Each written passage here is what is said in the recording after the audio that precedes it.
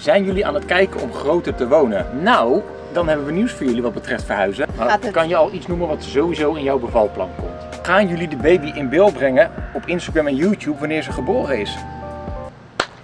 Hallo! Zijn we weer. Welkom bij een nieuwe video. Met deze keer een Q&A, want dat is al een hele tijd geleden. Überhaupt dat we zo voor de camera hebben gezeten was denk ik de laatste keer met de aankondigingsvideo. Dus dat was al... Vier maanden geleden. Ja, nou dat is al best even geleden vind ik. En hoe voelt het? Nou, wel weer gezellig. Nou ja, misschien heel even uitleggen waarom we nu een Q&A doen. Want terwijl jij dit nu kijkt, zitten wij, liggen wij waarschijnlijk op het strand in de zon in Griekenland. Eh, waar we dus niet aan het vloggen zijn. Gewoon een weekje niks. Babymoon, zoals dat dan in vaktermen heet. Maar we dachten het is wel leuk om iets aan jullie te, te laten zien. Eh, in plaats van een week geen vlog. Dus hadden we de Q&A bedacht. Hebben we dus afgelopen maandag op Instagram een vraagsticker gedaan. Nou, tientallen, misschien wel honderden vragen kwamen binnen. Ja, zeg eerlijk. Mhm, Er Dat- waren er heel veel. Dat ging Zeker. van de meest gekke vragen. Nou, ik wil eerst even zeggen, er waren heel veel vragen die ook al in bijvoorbeeld de aankondigingsvideo ehm, genoemd zijn, de antwoorden daarop. Dus als je vragen hebt over hoe het zwanger worden bijvoorbeeld ging, dat kan je in die video zien. Gaan we nu niet nog een Nou, keer je op kan, iemand je dan... kan niet zien hoe het ging. Oh, dat bedoelde ik ook niet. Ik bedoelde Oké, meer... maar Oké, ja, ik heb hier Met dus de vragen. Ja. Of we hebben er een stuk of acht uitgekozen. We gaan beginnen? we gaan beginnen. Vraag. Zijn jullie aan het kijken om groter te wonen? Nou, dan hebben we nieuws voor jullie wat betreft verhuizen. Nee. Nee. nou, we zijn, wel, we zijn wel aan het kijken, want iedereen is altijd aan het kijken. Ik krijg iedere ochtend van die Funda alerts op mijn telefoon. En dan zie je die prijzen en die vierkante meters. Dan denk je, ja, wat schieten we ermee op? Niks. Helemaal niks. Alleen, heel- alleen betaal je twee ton meer. We zijn heel blij met dit huis. Dus het moet wel een dusdanig leuk huis zijn dat we de keuze maken om te verhuizen. En Het huis is nog niet voorbij gekomen, zeker niet. Wij hebben dit huis nu zes jaar geleden gekocht in een nog hele goede markt. Dus nee, dat, eh, we weten gewoon dat we ja, Ja, ook weer... de vraag is denk ik vooral gesteld van, lukt het met de kinderkamer en alle spullen? Precies. Nou, dat lukt. We hebben één kamer over. Daar maken we een kinderkamer van. Als er nog meer uitbreiding komt, wordt het misschien iets lastiger. Maar goed, Dan dat, moeten zijn, we wel gaan verhuizen. dat zijn zorgen voor nog veel later. Dus Nee, maar zeker totdat het kindje nog niet kan lopen, ja, voorzie ik geen problemen in dit huis. Op den duur wil ik natuurlijk wel graag een huis met een tuin, wat iedereen wil, maar dat in ieder geval dat ze gewoon naar buiten kan lopen de tuin in en dat iedereen iets meer ruimte heeft. Ja, ik wacht ga zo, even. ga Wacht zo met even. Pip kijken. Oh. Dus dat is wel, maar goed, dan heb je het wel over twee, twee jaar denk ik.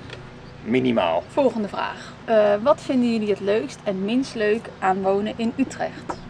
Nou, het leukst vind ik wel dat je gewoon zo de stad inloopt. Wij wonen zeg maar net aan de rand. Dus je loopt binnen vijf minuten gracht. En je hoeft nooit de auto te pakken om eventjes in de stad te Ja, gaan. maar dat is dus deze locatie. Ik denk dat de vraag is meer wat vind je leuk aan Utrecht? Ik vind heel erg leuk aan Utrecht dat het wel een grote stad is, waar je wel alles op de fiets kan doen. Zoals in Amsterdam moet je of 20 minuten fietsen met een pontje, met een tram, met de metro. In Utrecht is alles te fietsen. Het is allemaal gezellig. Gewoon een soort van groot dorp. Ja, ja, dat is leuk aan En vet veel leuke restaurantjes, grachtjes, zo. Ja, het is wel heel vaak als je foto's ziet van Amsterdam of die toeristen zien van Amsterdam, zijn dus gemaakt in Utrecht. Met die werfkelder zo.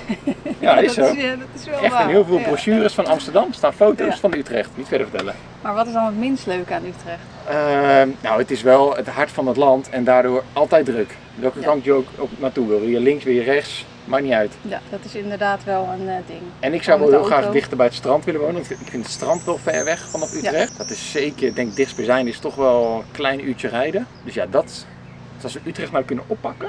Ja, en dichtbij. Maar dan kom je dus in Haarlem uit. Ja, maar we, we kennen daar verder niemand. Daar hebben we ons leven niet.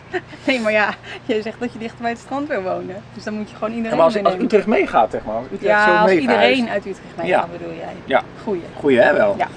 Ehm, oh ja, deze is ook leuk. Willen jullie met de baby ook weer gaan reizen? En zo ja, waarheen dan? Nou, ten eerste, de, ba- de baby is er nog niet.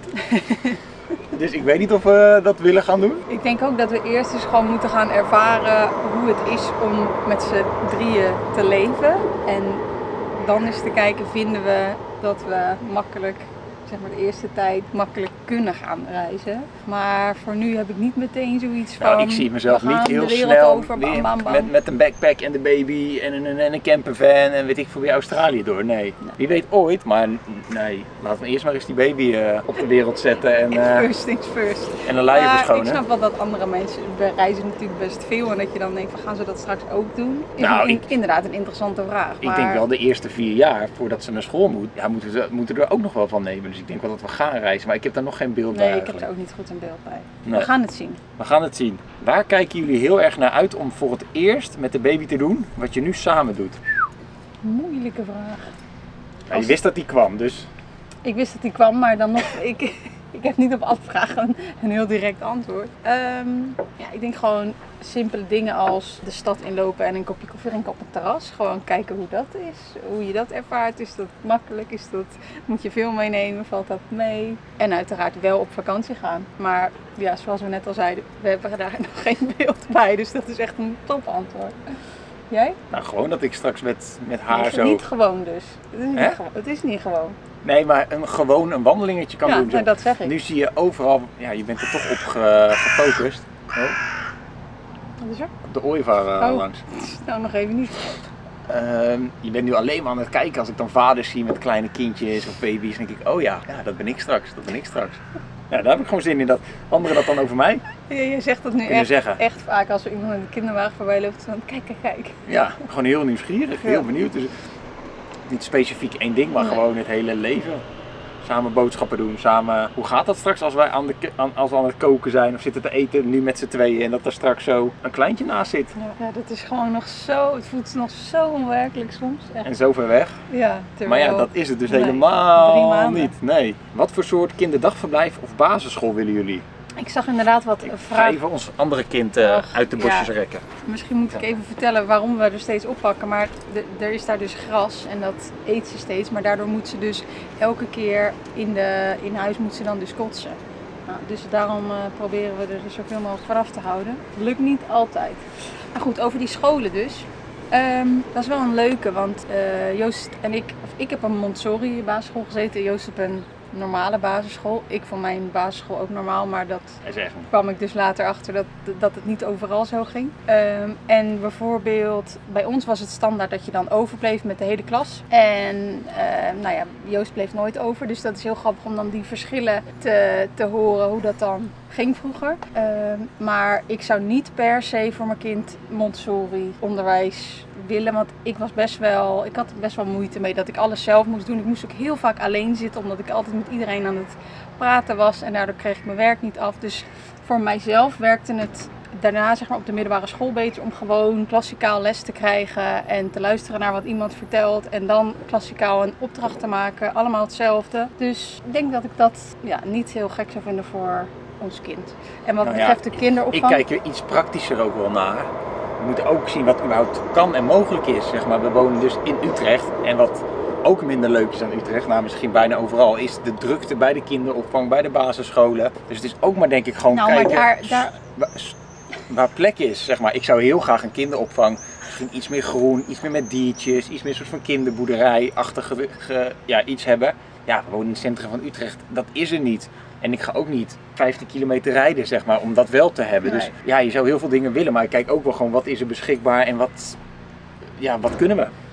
Maar wat ik nog even wilde zeggen, want da- daar hadden we het laatst in de video ook over van dat je dus nu al naar basisscholen moet kijken.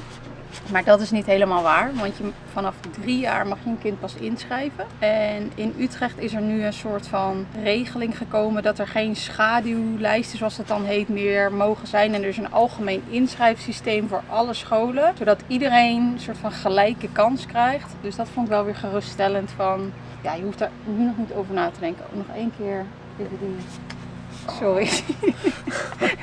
We moeten de hele op ons kind letten, nu wel. Nou, dat is een goede, goede test. Laat er anders even in beeld zien. We hebben het de hele even, tijd over, maar we doen net alsof dat je er niet bent. Kom even gezellig erbij. Anders. Hey.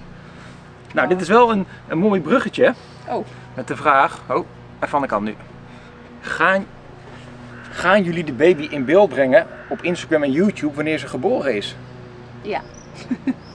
wat mij betreft wel. En wat jou betreft volgens mij ook. Zijn we het wel over eens. Ja, ik, ik snap de discussie of dat sommige mensen daarover twijfelen. Nou, was voor ons niet heel snel een, een discussie of hoofdpijndossier, om het zo te zeggen. Ehm, Nee, dus dat kunnen we kort over zijn. Dat is wel het plan. En natuurlijk kan het zijn dat we daar ineens anders over denken als ze er is. Maar dat eh, vertellen we tegen die tijd. nou ja, ik denk, ik denk gewoon heel erg. Kijk, dit is ook ons leven waar wij ons geld mee verdienen en ons werk, zeg maar, wat we doen en ons leven laten zien. En ik denk als zij later ziet waarom we dat hebben gedaan en dat we daardoor haar de jeugd hebben kunnen geven die ze heeft gehad. En hè, dat we haar daardoor hebben kunnen onderhouden, dat we daardoor brood op de plank hadden. Ja, dan, dan gaat zij dat echt wel begrijpen, denk ik. Ik hoop het. Ik hoop het, maar ja, mocht ze daar tussentijds anders over gaan denken, ja, dan, dan niet. Maar ik denk niet dat we er heel. We gaan er niet inzetten voor, voor marketingcampagnes van. Hier zo, deze baby, dit, dat, Nee, maar zo. volgens mij mag dat ook steeds minder. Dus, en daar ben ik het ook wel mee eens, dat dat gewoon niet de bedoeling is. Nee. Maar in beeld lijkt me prima. Ik ben heel benieuwd hoe ze het op beeld doet. hoe verloopt de voorbereiding op de bevalling? Heb je al een bevalplan en wat staat erin? Ehm, we zijn, Hoe loopt de voorbereiding? nou, wat mij betreft goed. Oké, heb je al een bevalplan? Nee, maar dat, daar ben ik wel langzaam over na aan het denken. Naar aanleiding van die cursus waar we geweest zijn. Zij heeft heel veel goede tips gegeven over wat er allemaal in een bevalplan kan komen te staan. Want zij gaf bijvoorbeeld aan, je mag in een ziekenhuis of in zo'n bevalcentrum mag je heel veel zelf bepalen, zolang het natuurlijk goed gaat. En dat vond ik wel heel fijn om te horen, want mijn ervaring is in het ziekenhuis, daar heb ik heel veel nachten gelegen, dat je niks mag bepalen. Niet wanneer ze je eten komen brengen, niet wanneer ze je kamer komen schoonmaken of ze überhaupt binnenkomen. Dat soort dingen zeg maar. Ze zei, je mag gewoon zeggen, je mag nu niet binnenkomen, klaar. Eh, als jij je eten niet wil hebben, is dat ook goed. Dus dat soort dingen vind ik heel fijn om te weten dat je dat er gewoon in mag zetten. Ehm, en wat betreft de verdere voorbereiding hier in huis, Maar gaat het... Kan je al iets noemen wat sowieso in jouw bevalplan komt? Dat willen mensen weten. Ehm, nou, ik wil bijvoorbeeld heel graag de, een, een halve lotusgeboorte. Dus dan eh, laat je de navelstreng nog totdat de, de placenta ook geboren is aan het kindje zitten. En dan klopt die helemaal uit. Dat schijnt voor heel veel dingen heel goed te zijn. Dus als dat mogelijk is, dan wil ik dat heel graag. En dan pas dus de navelstreng doorknippen zodra de placenta geboren is. En de navelstreng helemaal is uitgeklopt. Dat is iets wat ik... eh, en daarnaast vind ik... En ik, mag ik ook ja? Ja, tuurlijk. Ik zou haar dus graag willen oppakken voor het eerst. Ja. Daar hebben we het al over gehad, maar dat lijkt mij... Ja, lijkt me ook heel mooi. Maar goed, als het allemaal kan en mag, hè. je weet niet hoe het loopt. Dus het is meer een soort... eh, dat... Nee, dat zei ze ook in Ja. de cursus. Het is meer een ehm Wensen. bevalwensenlijstje. Dus ja, nou, ik vind dat een, een mooie gedachte. En nog een speciale vraag voor mij. Droomt Joost nu ook meer? Mijn man ging zelfs slaapwandelen toen ik zwanger was. Nou, ik kan wel, ik kan wel beamen dat ik meer droom. Dat is gewoon dat je veel meer bezig bent in je hoofd met de baby en de toekomst en het huis en, en alles wat je moet regelen en school en kleding en, en bevalplannen en, en cursussen en boeken lezen. Zeg maar. het, het gaat er gewoon veel over. Dus Ja. ik denk dat daardoor ook gewoon je hersenen veel meer overuren maken. En ja, ik droom wel echt veel meer en, en, en de gekste dingen ook. Helemaal niet alleen maar baby gerelateerd, toch? Gewoon van links naar rechts. Vanochtend of vannacht droomde ik dat ik bij het leger moest, omdat ze daar mensen tekort hadden. En ik moest een, ik kon een cursus om, eh, hoe heet het in zo'n boot? Speedboot eh, coureur, begeleider te worden. Nou, dat, dat moest ik dan gaan doen, omdat er mensen tekort waren. Verder niks met de baby te maken, maar eh, ik ging wel hard over het water heen hoor. Even zien. Goed, dan zijn we al bij de, bij de bonusvraag, de laatste. Bonusvraag. Ja, die had wat bonus van hebben we nog tijd of niet. Ik weet niet of we nog tijd hebben, ik kan niet zien, maar we gaan het gewoon eh, doen. Heb je echt nog geen nesteldrang? Ik moest en zou alles zo snel mogelijk klaar hebben. Nou ja, dat komt op mij over alsof wij nog niks hebben geregeld. Maar dat is dan ook weer niet het geval. We zijn, zoals je in de vorige video hebt gezien, druk met de kleur uitkiezen. We hebben al een commode uitgezocht. We hebben al een zwangerschapscursus gedaan. Maar we We zijn heel veel aan het inlezen. maar we hebben ook al een co-sleeper geregeld, box. Zijn bezig met zo'n zo'n zo'n stok eh, triptrapstoel eh, in huis. Dure dingen allemaal trouwens. Alles is duur, Ehm, maar goed. Maar dus ik heb niet zoiets van het moet nu allemaal af zijn. Want dan ga je er ook drie maanden lang soort van naar kijken. En denk ik alleen maar elke dag van is ze er al, is ze er al, is ze er al. Dus ik denk dat het ook gewoon mooi is als je het als een soort proces ziet van we doen stapje bij beetje iets. En eh, we gaan nu, of we zijn nu natuurlijk op vakantie. Dus ik denk dat het een mooie stap is als we zo meteen terugkomen van de vakantie. Om dan te gaan verven, de commode in elkaar te zetten. En wie dingen- gaat de verven en wie gaat de commode in elkaar zetten allemaal? Samen? Samen? Ik moet het nog maar zien. Nou, alsof ik niks doe. Nee. Daar, eh, dat spijkertje moet je hebben. En Ach, dat... Nee, nou, hoor. lekker, hè? Komt goed. We zijn een goed team hoor. Ik wou zeggen, eh, dat mag best gezegd worden. Ja. Team, eh team Beamer Unicorn kan dat wel. ja. Mocht je denken, wat hoor ik af en toe voorbij komen? Ik weet niet of je het hoort, maar wij wonen dus redelijk dicht Aan bij het het spoor. Dus af en toe kan je misschien een trein voorbij hebben horen komen. Zo niet, dan niet. Dan is dat mooi. Bedankt voor het kijken. Wij vonden het leuk. En als je nog meer vragen hebt, laat even weten in de reacties. Misschien voor de volgende.